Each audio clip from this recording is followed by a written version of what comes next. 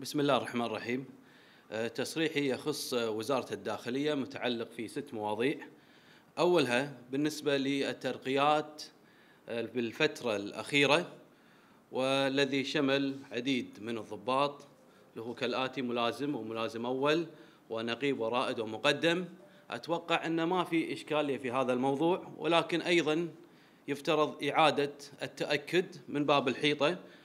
إنما أنا أؤكد على ترقية من المقدم إلى عقيد وهو كالآتي كان العدد يفوق الثلاثمية واختاروا 101 نسأل وزير الداخلية وأنا راح أتابع هذا الموضوع والمواضيع التي سوف أذكرها بناء على أسئلة برلمانية وكذلك تقديم بعض الاقتراحات.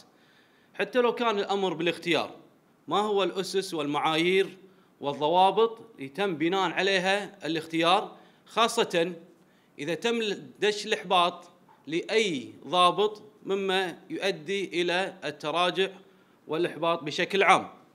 ولا أحد يقبل إلا بالعدل والمساواة وعدم الظلم. أنا ما أبي أسبق وأحط الاتهام مسبقا لكن يفترض مراجعة هذا الأمر من باب الحيطة والحذر.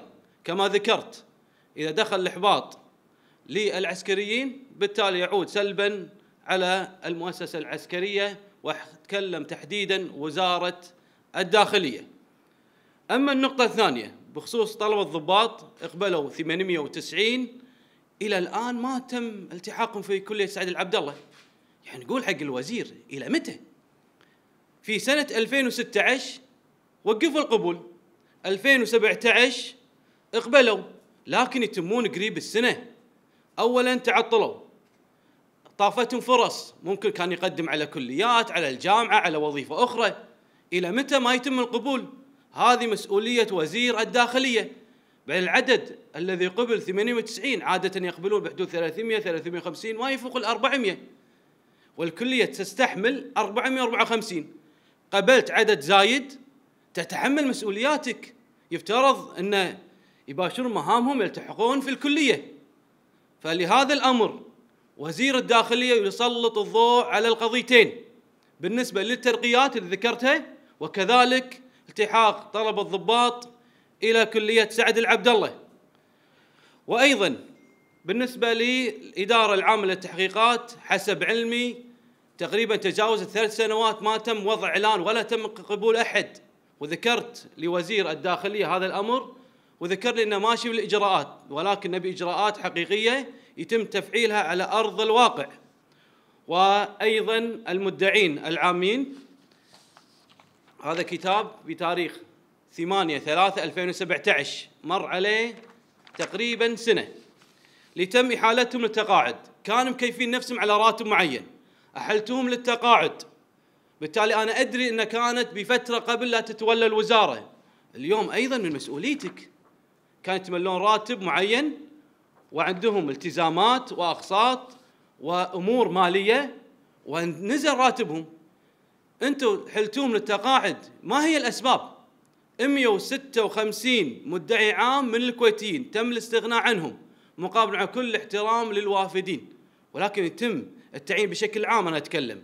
مو بس وزارة الداخلية وغيرها يتم تعيين الوافدين مع كل الاحترام والتقدير لهم.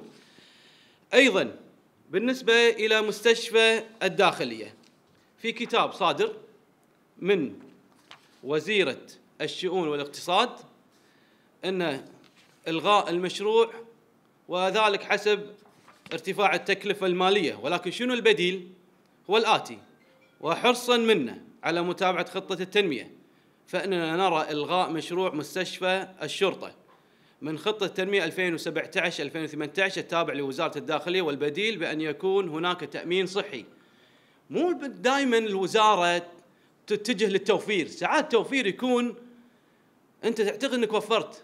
يكون جهد أكثر زحمة مضاعفة. لما يكون لك مستشفى خاص بالتالي أنت توفر على المستشفيات العامة الازدحام وغيرها. الحمد لله دولة الكويت منتعشة ماليا. انفقوا على المشاريع. المستشفيات المدارس الأمور الحيوية. كلها رايحين للتقشف. آخر شيء متبرعين خارجيا. نفتخر في السياسة الخارجية ولكن تبقى السياسة المحلية هي الأبقى والصرف والهدر وعدم الالتزام في قواعد الميزانية. صرف مو طبيعي ولا راحت على الأمور الحيوية. قالوا لك والله ما عندنا. تقشف. تقشف يفترض رئيس الوزراء التنسيق مع جميع الوزراء بتحديد أوجه الصرف وعدم البذخ والبذر. قاعد نشوف إحنا في تبذير في إسراف في بذخ في الأموال. فبالتالي يفترض إنفاقها على الأوجه الصحيحة.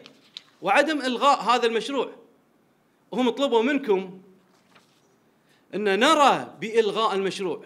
على طول الوزارة تعتمد للغاء شنو الهدف؟ أما النقطة الأخيرة.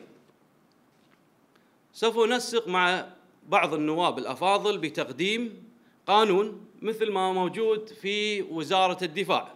ومرسوم بالقانون 136 لسنه 1992 بإصدار قانون محاكمات العقوبات العسكرية لهيئة القضاء العسكري.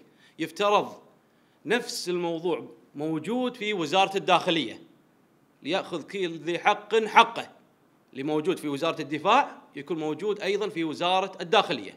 وأختم مثل ما بديت على وزير الداخلية وسوف أتابع معه بالنسبة للترقيات 101 عليه إنه يراجع الملف مرة أخرى حتى لو كان القانون والقرار الوزاري يعطيك بالاختيار ولكن هل المقابلات كانت بالتساوي؟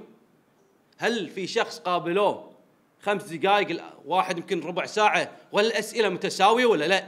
أنا الحين أسأل وراح أتابع بأسئلة البرلمانية ومع الوزير كذلك.